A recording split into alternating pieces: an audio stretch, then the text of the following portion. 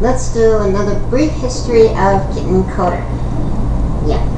The second part is called Coder because, quick story, I signed up for a an account and I wanted Kitten Coder C O D E R. It was for a programming forum.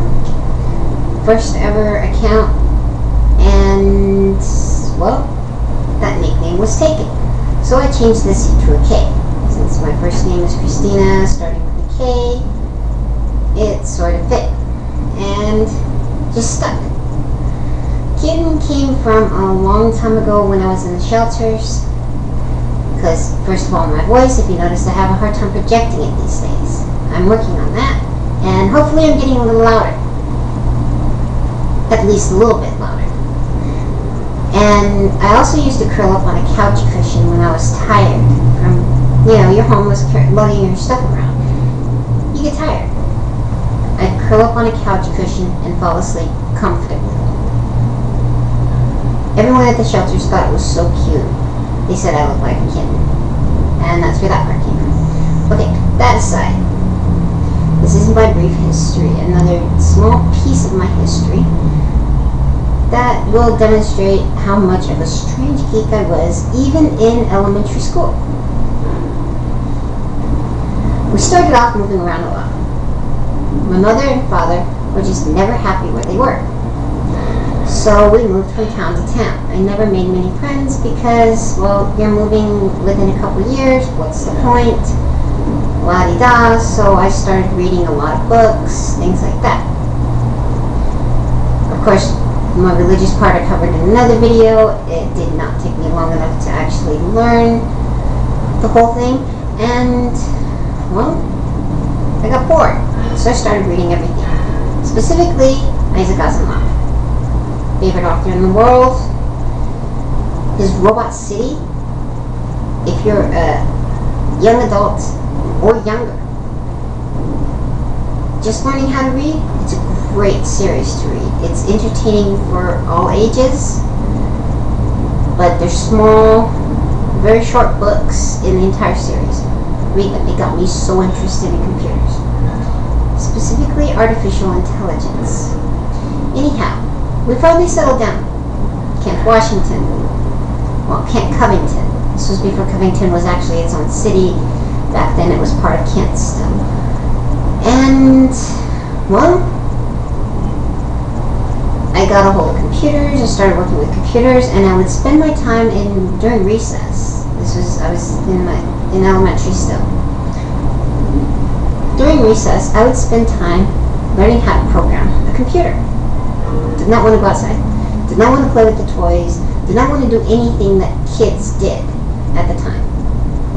Of course, though, we didn't. We had our own toys that we brought with us to play with during recess, and they had those stupid balls and stuff they would hit on the poles, and none of it interested me.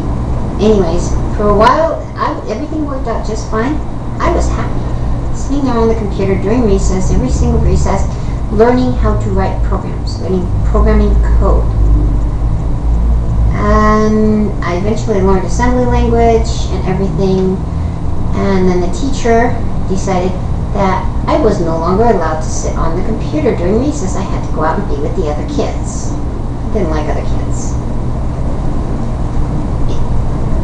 First, I made a comment to C.S. Andreas, Chris, mentioning a Children of the Corn meets Nirvana type goth.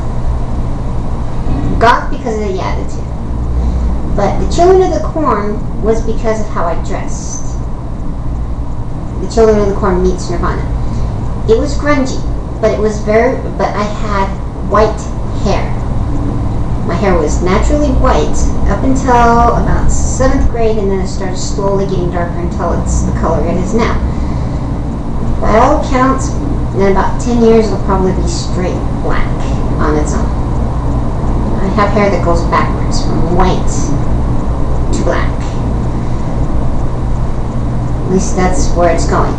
Anyways, so because of the way I dressed and because of my hair, I look like children of the corn. But I had a very dark, moody personality. And so it was Children of the Corn meets Nirvana because at that age, at that time, Nirvana was really big. So anyways, there was one bully, this boy, who thought he was basically the ruler of the playground. I was the outcast coming in, and since I had never been out to recess until then, he thought that he would start teasing me. I ignored it. Honestly, words have never hurt me. Seriously, you could say anything you want about me. It's just like, yeah, your point. Me? What? I'm one of those extremely easygoing people when it comes to words. Everybody finds something offensive, and to me, I never found anything offensive. I didn't want to be offended by it. So I just never did. So one day, he decided to try to push me. Yeah, kids are like that. Well, I grabbed him, spun him around, and bit his arm. Really hard. I drew blood.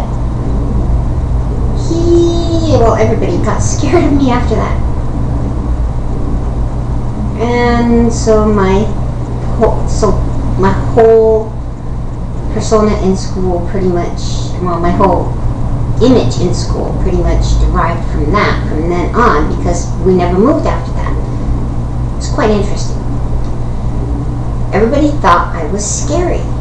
They honestly thought I was scary. So whenever a bully would start to pick on somebody, I just walk up to them, just kind of stare at them, and they'd leave the person alone.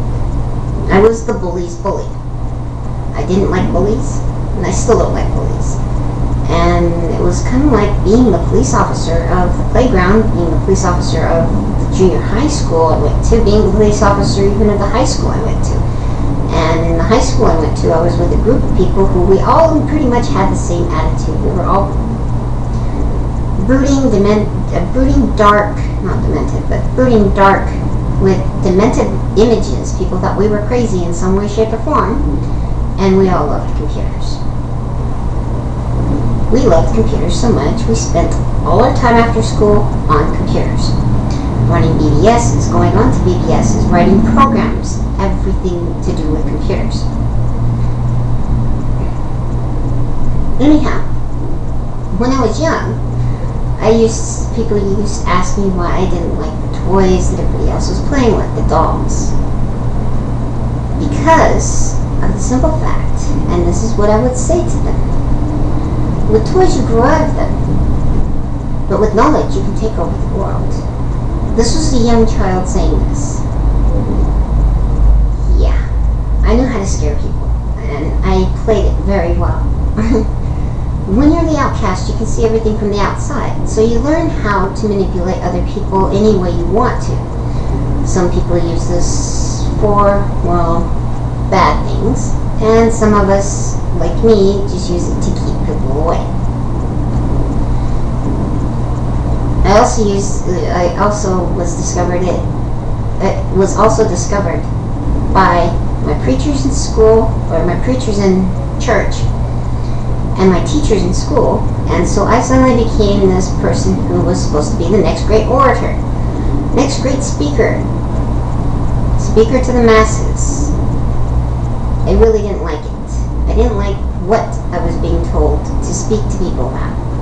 So I did it only to appease my mother, and that was it.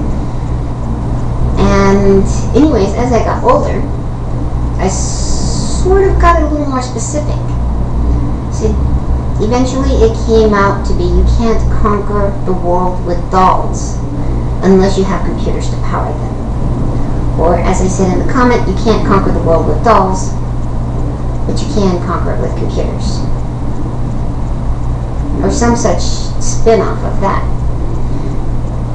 Because I have a very strong fascination for artificial intelligence. It is a passion of mine. If I could be the one to write the ultimate artificial intelligence, if I could create Skynet, I would just to be able to create it. That's how much I love artificial intelligence. To create a thinking, living machine would be the ultimate win for me. And that was because of Isaac Asimov's stories. But yeah, I know this is a little more than just about the bully thing that Chris was talking about, but it's the nature of the entire phrase that I posted him. Let me pull up that image real quick so I can remember what I had posted exactly because I always forget which version of it. Yeah. You can't conquer humanity with dolls was my ultimate response. It was bully, the bully saying, you like computers? Me answering, yes. In the child, children of the corn fashion. The bully would then say, why don't you play with dolls like everyone else? And my response was always, you can't conquer the world with dolls. Or some line very similar to that. Anyways, if you don't know Chris, check out his channel. He's a fun blogger. He encouraged me to do this. So I always give him a shout out every once in a while. Link is down in the description, of course. And otherwise, have fun.